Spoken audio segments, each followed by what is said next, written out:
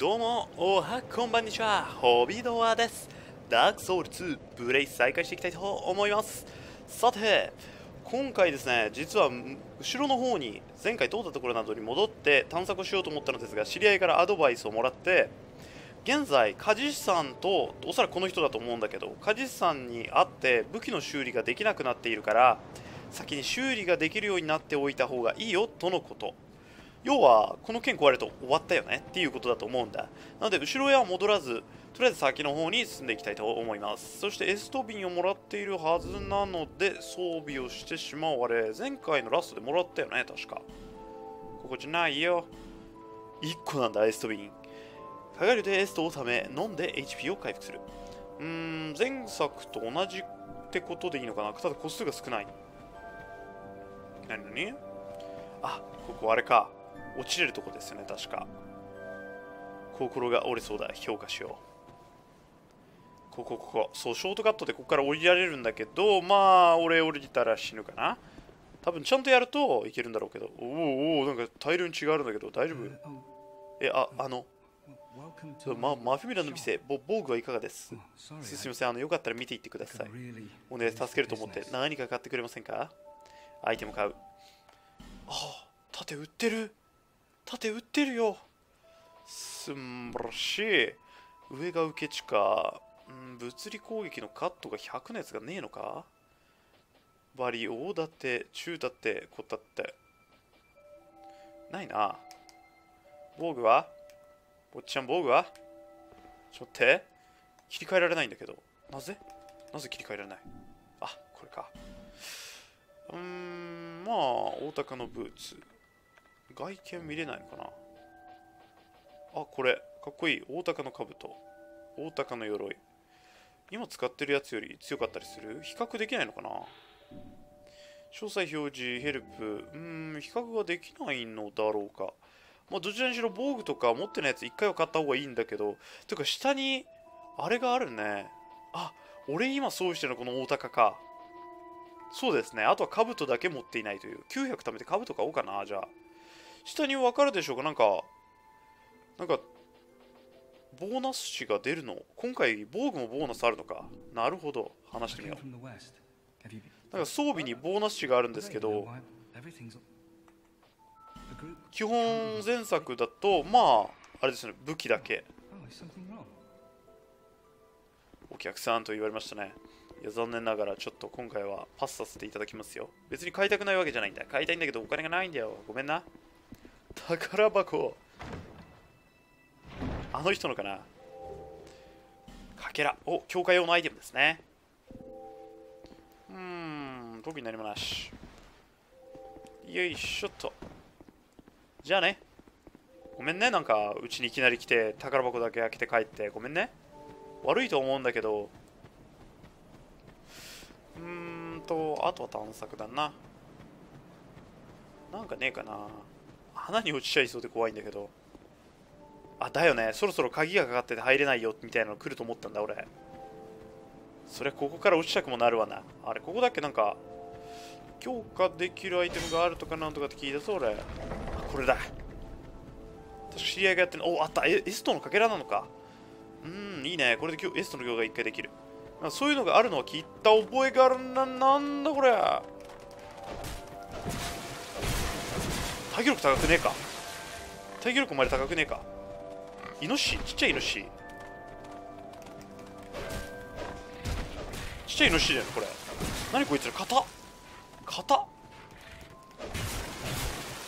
最初の方にいたあいつらの火じゃないぞ。モージャたちの。強い強い強い強い。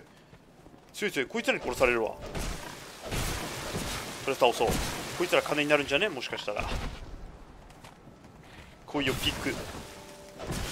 厳密なピッグではないけどお前ら。俺大丈夫？崖の方行ってない？痛い。まずは一体行ってない。豚に追い込まれている。悲しいぜ。そして20か硬い割に。何？剣に対して耐性があるとか？あれちっちゃい豚でいいんだよねこいつら。あのイノシシというか。ああ前作いたなイノシシそういえば。嫌な予感がするな。ここに大量に血があるんだけど要はこいつらにやられたのかお前ら。そりゃないだろうさすがに。あごめんなさい。結構辛いっすよねあいつら。いやでも割とマジで辛いよ。俺ネタで言ってるけど。見たあいつらのあの硬さ。あついでなのでエストビンのどのぐらい回復するかテストやってみよう。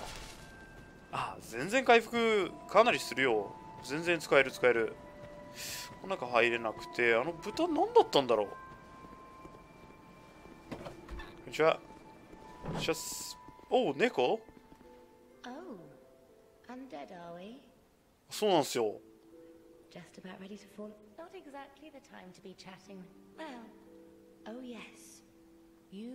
シャラゴワさん。あ、アイテム、アイテム買えるのか？契約一覧。このですね、契約ありません。アイテムか。おおジャガの指は敵を倒した時に HP を吸収する。素晴らしい。落下した時のダメージを軽減する。ああこれがあるとあそこのショートカット使えるのかな。赤目敵から狙われやすくなる。これ仲間と一緒にプレイしている時に要は敵を敵の注意を引きつけるための装備ですよね。いいね。こういうの好きさ。名を刻む指は同じ紙を選んだもの世界とつながりやすくなる。ささやきの指は敵の声が聞こえてくる。やめてくれ。恐怖以外の何もでもない。ん。で機関の骨な綺麗な石を話。しああ道しるべとなる。石の敵を誘い寄せる。ロイドの護符広範囲でエストによる回復をできなくする。これ要は Nothing Hobo. suited you, I. Well, that's そんなことないんですが残念だわ。うふふと言っていますがそういうわけではないんですよ。何もないよねここら辺。絶対ここなんかあるだろう。場所的に考えて。これだって奥ありますよね。あ違うか。奥ねえか。うーん。なんだろうななんか怪しいんだけどあれ契約破棄できるってことはあそこで一旦契約した方がいいのかな？契約するとなんかもらえたりとかしないかな？やってみるか。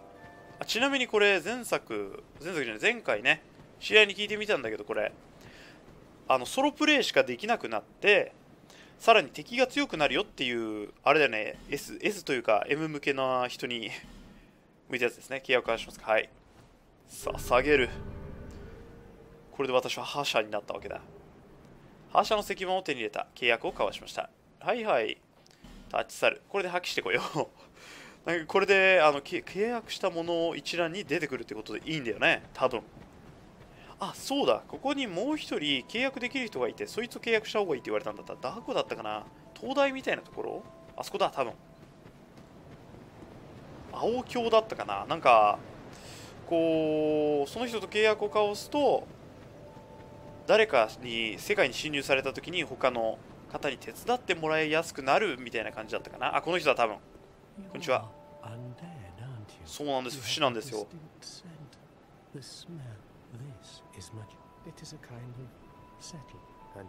この国ではそれすらももう数少なくなってしまったようですが話す。私の名はゾダン。あなたと同じ全てを失ってここへ来ました。ここに来れば呪いを解くことができる。そう聞いてきたんでしょう嘘っぱちなんです全部。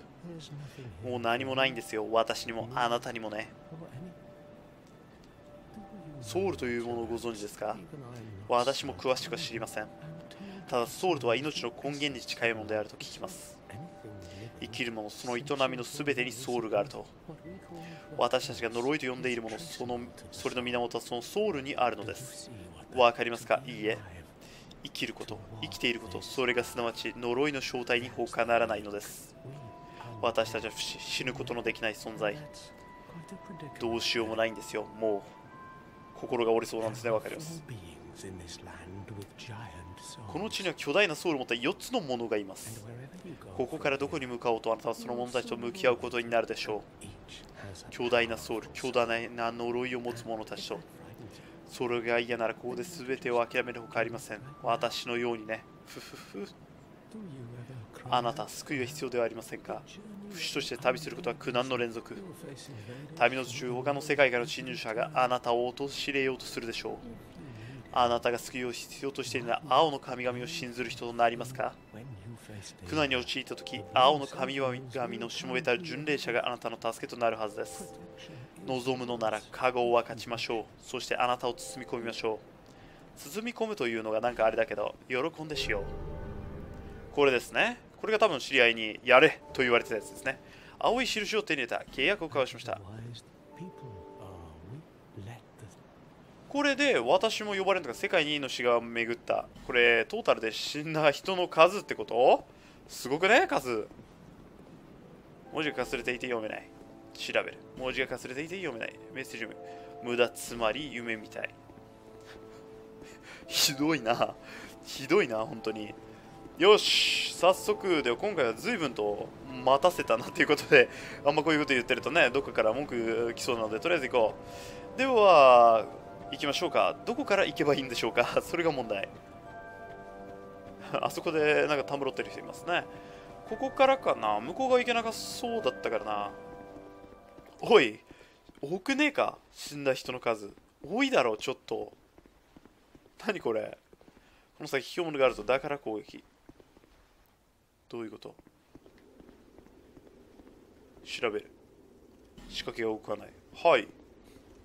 どういうこと？あれ動かした先でなんかやられた？わからん。わからんがとりあえず進もう。まだ強化すらできないんだが。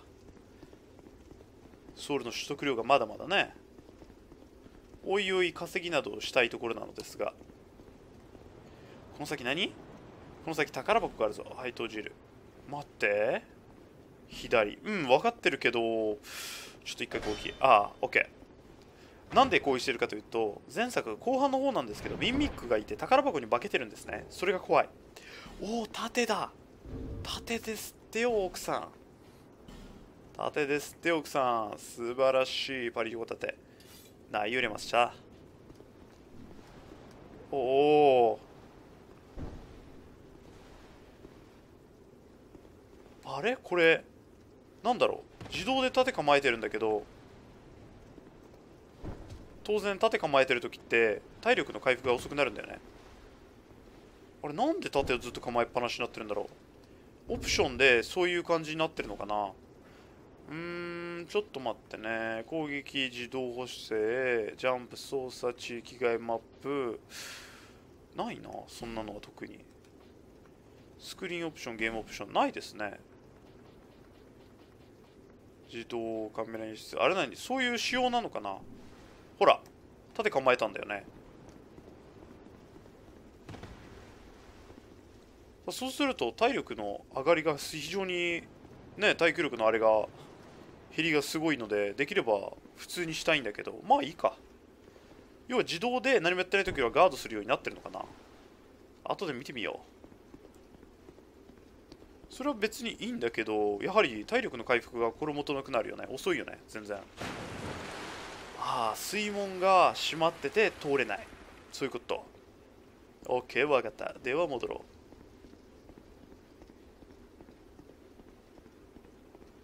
う。なんだ？あこれ？何？いいの？でもそれやって。ここだ閉じる。いいのかそれ。大丈夫？俺向こう側行っちゃって。嫌な予感しかしないんだけど。まあダメ元で一回ね。大大丈夫っぽいぞ。どうなってやがんだ？お折れた族の直見ゆえも知らぬ死のソウル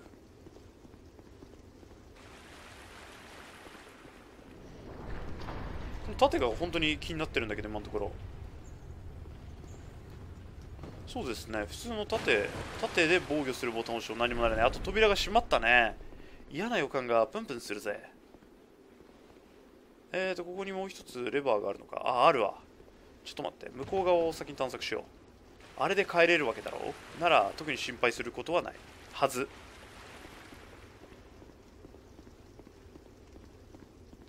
ちょっと待って。この構えずっと構えてるのがちょっと気になるのでバグってないかし調べてみよう。ここにダガー装備して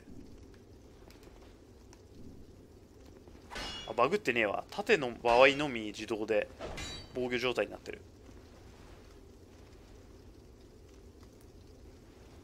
あと両手持ちになるとだね。OK とか両手に武器持ってどうすんだ俺。こちらにしてと。では行こう。どこに出るかなと。はいで大学おお弓弓弓刺さってる弓刺さってる。大丈夫っすかおっちゃん。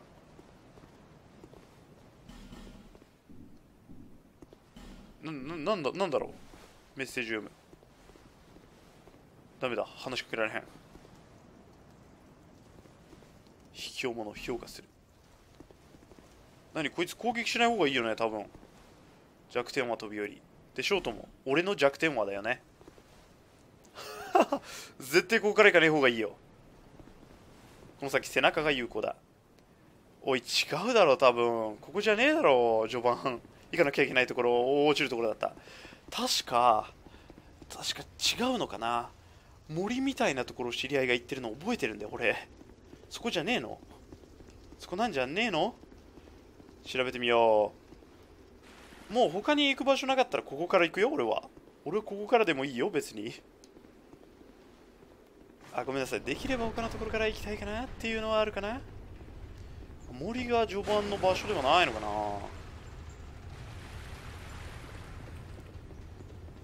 と言ってもああ森。森ってあの最初のところから行くのかな。あそこそういえば行ってない方角あったな。それかな。でもあそこ序盤で行くって感じじゃないよね。あとエストビンゼロになってるの忘れた。どっかで回復しとこう。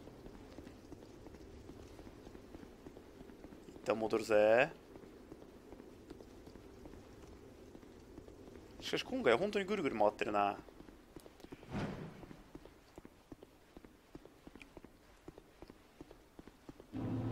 マデューラはいもう一回やってまいりましたマデューラ一歩進んで二歩下がるというね。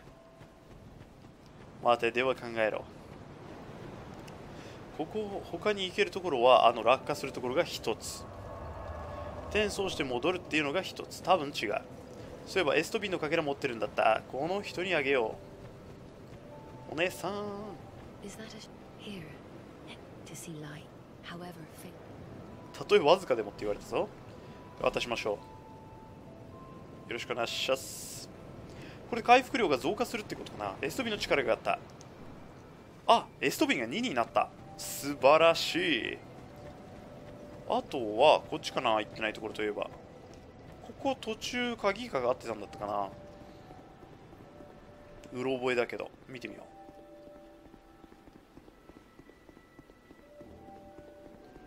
う。あ鍵かかってるってか。普通に通れんねんな。ああでもそうでもないな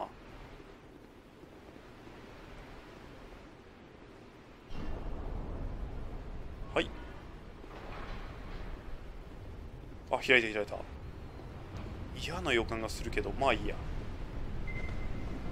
ピピって音がしてたぞあ別にでもこちらから戻れるのか？てっきりこういうのって一方通行系かなと思ったんだけどそんなことないみたいね。なんか地下に行く？と場所？嫌な予感しかしねえなこれ。うん。大量に死体があるんだけど飛び降りた？まさかの。前ら。ダメなやつらやなお前ら。ほんとダメなやつらだな。行き止まりでショートも。要はあの真ん中の宝箱取りに行って死んだってこと？この人たち。何あそこから行くとまずいの？構えるよ。チャンスだからこの先ローリング有効だ。どういうことだ？普通に進もうとするの折れるのか？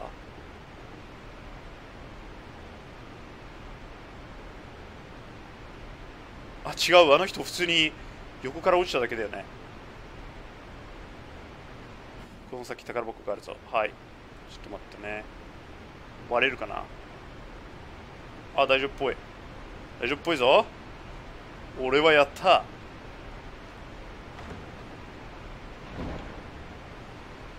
あれおかしいな。向こう側アイテムがある。あ足場がある。場所があるのか。そして幸せ。はっと。よし。お機関の骨。とその他もろもろあこれ。この先尻に注意しよう。尻？尻に注意しろ。どういうこと？何も来てないな。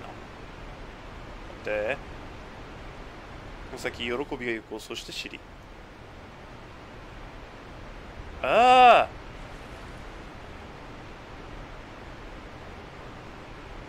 あれバレてる？まさかのバレてる？俺あいつと戦いたくない。戦いたくないけどここ以外に進む道がない。一回死ぬかな。あれ死にますよね多分。ちょちょっと待ってね。あ森っぽいところ出た。多分ここ予定地。藤田巨人の森。ここだ。ここだけどここなんだけどここなんだけど俺通常に来たかったな。あ大丈夫だ。ここから普通に通常普通に来れたわ。了解了解。であいつは無視だ。あなんか来てるなんか来てる。まあよくわからないおっちゃん来てる。で盾がこの自動防御がちょっと気になるな本当に。うん無視で。勝てるかもだけど勝てるかもだけど君子危うきに近寄らず。おおあいつ何？こっちから仕掛けなければ陣地組むがいい今日近くにいるのに何もしてこないよね。だからといって同行する気はないけどこれ野党が野党同盟。とりあえずかがり火を探そう。ザ探索会だったよ今回。神殿が音のないなおお人いるわ。なんか地形に同化しててよくわからないんだが。アイテム拾う。よしアイテム入手。痛い痛い痛い痛い痛い。おいおいおいおい。多いだろお前ら。はいはいはいはいあやべ。回復が遅い。盾を盾をこの構えられるのを自動にしないようにする方法を探さなくては。絶対あるはずだけど。アイテムがありますねあそこ。お落ちて落ちないよね。落ちないよね。言えも知らぬ総理おっと。なんだこれ。ああさっきのやつか。さっきのやつなんかどこから湧いたお前ら。俺予定の場所に着く前に死んでしまう気がするよ。多いな数がこいつら。盾ずっと構えっぱなしがちょっと有効になってきてる件に関して。うーん敵を大量に倒したけどどうしようかな。こちらになんかあるね。ああかかり火ある。かかり火あるよ。やったね。モンファイルト何がすごいって俺今までまだ一回も死んでないんだけどどうなってんの？ここはもうあれですよ。かかり火見つけたら一旦帰ろう。マデューラ。捧げる。転送。闇のうーん。ああこちらに来てますね。こんにちは。ごめんなさいね。休んでると。Seek them, lest them. はいレベルアップ。捧げるってことで。1レベル上げるとどのぐらい？うん30も上がるのか。なかなか優秀だが。どうしようかな。ここは筋力やら気量やらを上げておうかな。どうしようかな。どのぐらい上がるかちょっとテストしてますよ。1.5上がるのか。いいね。そしてどのレベルを上げてもとりあえずは2ほど HP が上がるようだ耐久力を上げようと今思ってたんですがよく考えれば耐久力を上げる前に装備を充実させよう。向こう側のおっちゃんが確か装備売ってくれてたはずなので頭のやつね。買っちゃおうどこだったかなあのおっちゃん。鍛冶屋のおっちゃん。鍛冶屋じゃない商人か。商人のおっちゃんやーいと。おっと間違えてなんか買うてしまうところだったよ。所持品1になってるやつ以外だね。これだ。重量的にどうなんだろうかでも。っとくか。Thanks very much. またよろしくお願いしますとのこと。で装備で重量大丈夫かな。あこのフードそういえばつけてなかったけどつけられたんだね。あめちゃくちゃ防御力上がるわ。こいつはいいね。総合で見るとうんやっぱり結構上がる。何もないよりはそれそうだよな。51%と下に出ているんだがおこれが鷹のあれか。うーんあの羽みたいな長いのがあることを除けば結構かっこいいと個人的には思うな。これで一応フル装備かな？さてではまた探索に戻ろうか。向こうの方をもうちょっと探索だ。しかし盾のオート装備をなんとかしないとな。ではではでは朽田巨人の森へサイドだ。ここが個人的には最初の場所だと思うんだ。おグレートソードそうこれが装備したいんですよ。人の限界の境にある武器とのことだ。では行こうか。さて巨人というかトロールさんに気をつけつつこいつらをしばきまくろう。ちなみにあのトロールさんおいおい始末しようと思うけど今のところは無視だ。あ治ってる。やっぱバグってた。構えが常になりっぱなしになってないですね。投げナイフ入手。ああよかった。バグってたのか。怖えな。またあれならないかな。ん？木の上にアイテムがある。あ違う。上にあるのか。あいたいた。あじゃあお前ら木の下に隠れてるとかすげえところに隠れてるなお前ら。橋の下というかね木の下に隠れててあそこから降りてくる。変態ここに一体はい。オッケーだよな。体力切れ。つらいつらい。敵の数が序盤にしては多いな。ダークソウル初代の方ですと最初いるにはいるんだけどこういうタイプの敵じゃないかな。おっと。まあ弱いやつなんですけどね。あの弓のやつがいなければまあなんとかなるかな今のところは。エストビンを一回ごくごく飲もまずはとりあえず周りの探索を行ってからちゃんと進行するようにしよう。まずは探索だ。この先何があるかわからないからね。登ろう。いいね。この軽快なステップを踏みつつ登る感じ。嫌な感しかしないなここ。緑草。あだよな。だと思ったよ。そろそろ剣が折れるで俺。うんアイテムが大量にあるけど明らかにあいつら起き上がるよね。ここさっきのやつがいたところってことはアイテムあるんじゃない？血に触れる。なんかあるかな？ないか。ありそうだったんだかな。なんだこの獣のうなり声みたいなのは。ああっていうかお前蹴りあるのか？下下に向かって。ざま。アイテム。ちょっと待って待って待って。アイテムアイテムアイテム拾う投げナイフ入手上だ上。行くぜ。盾を構えつつ行こう。何かがいると思いつつ行くことが正しいと思います。結婚が多いな。何らかの理由で死んだ奴らが多い。場所か？そういう場所なのか？なんだここは？ああ亡者いる亡者いる。両手で剣を持っている？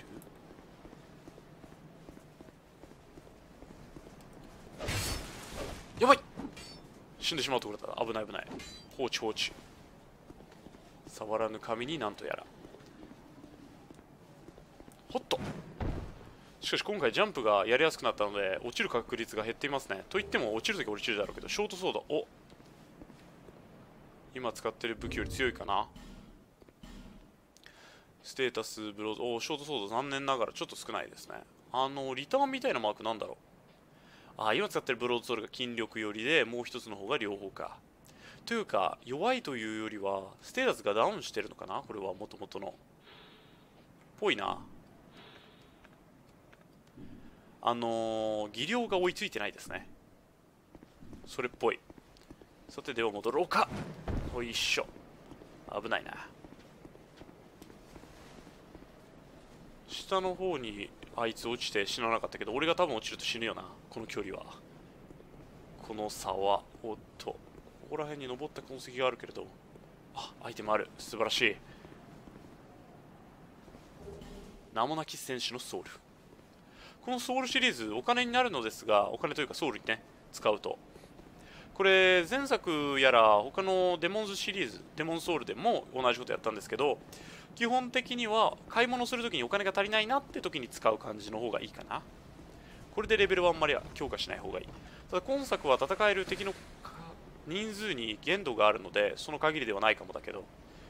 うんどうしようかな。ここからジャンプで向こう側本当に行けるのかな。いけねえような気がするぞ俺。よしあそこのアイテムがすごく非常に気になるんだけど今回無視で。先に落ちたやつの始末をしたいな。落ちたやつの始末をしたかったんだけどその前に襲いかけられてしまったな。それどころではなくなってしまった。後々スタミナが増えるとこういうやつらも余裕になるのだろうか。ちょっとスタミナの現在値が低いのでちょっと余裕がないですね。やばい3体同時はやめた方がいいだろう。爆弾投げてきたよ。火炎のやつだよね多分。1体。やばいやばい。体力が。体力じゃないスタミナスタミナ。投げナイフ入手。投げナイフはおいおい活躍するかもしれないので現在を取っておこう。折れた直剣入手。折れた直剣前作だとあのとある武器に変身させるとおおなんかいい武器になるんですけど今回どうなんでしょうね。ここまで OK さらに何体か起き上がりそうで怖いんだが来いよ来いよブラザー。その剣が欲しい主に。のげそるよな。のげそるなればよし。のげそらなかったらちょっと怖かったけど。あら剣が欲しいな。主人公あれ取ろうぜ。だよな。だと思ったよ。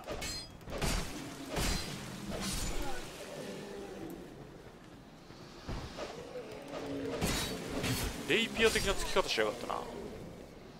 そしてちょっとお分かりいただけるだろうか。左下の自分の武器の耐久力がかなり減っています。やべえ。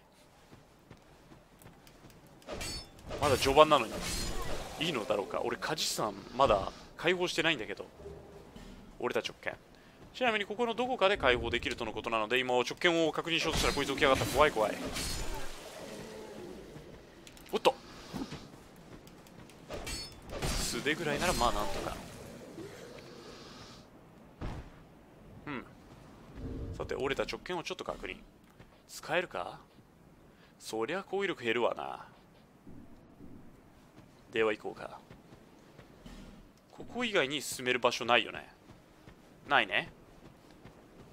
では一旦進もうか。他に選択肢もないわけだし。霧の中に入る。いきなりボス戦でなければいいんだが。ちなみに珍しいことにまだボス戦を一度も経験してないね。ダークソウル2に入ってから。うん。いるいる。いるね。おっと。一応とっさにガードはしたけど確認しておけばよかったな。お亡者のグローブ。いやし評価する。評価する必要なかったよな今。えー、っと待てよイベントリーでイベントリーじゃないごめん間違えた。装備品で現在の防具。大高のグローブだから多分こちらの方がいいってことはないと思うんだけどないね。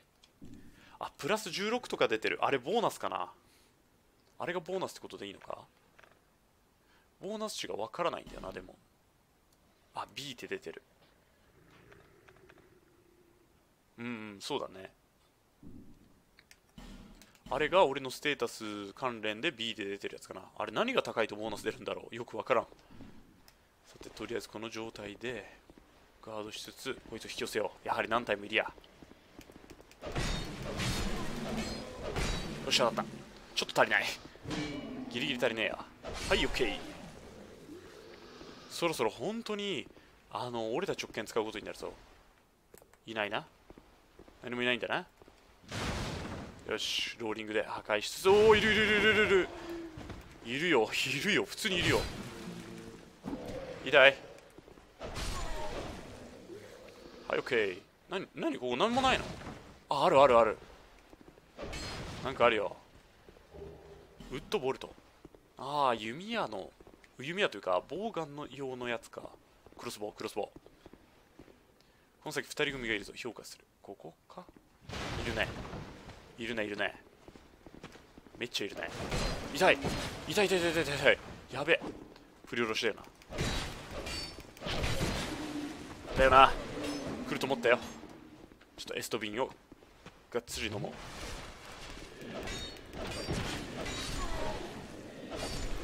う。はいオッケー。なんとか倒せたぞ。ご利用し気味だったけどな。ふう。そろそろ進行できないぞ俺。明らかに藁っぽいなこれ。石うん。下しかし穴どういうこと？ああ罠だこれ。絶対なんかあるでこれ。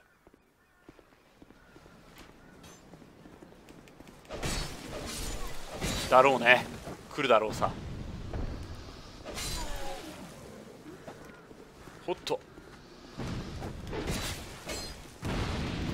痛い。しまった。さあ来いよブラザー。オッケー。石を1個飲んどくか。石を飲むっておかしいけどこれで回復しよう。しかし体験はいつ入手できるんだろうか。ちょっと筋力がどのぐらいあれば装備できるのかと確認のために欲しいんだよな1本。バックラお盾あー嫌な予感がする。こういう開けたところって歴代にあるあれですよね。あれが来ますよね。でけえドラゴンヘルカイト。今回あるのかな。今回あるんだろうな。あるんだろうけどちょっと待とうか。何これ。あ嫌な予感が。ですよね。だと思いまして。あれ俺ガードしてるんだけどな一応。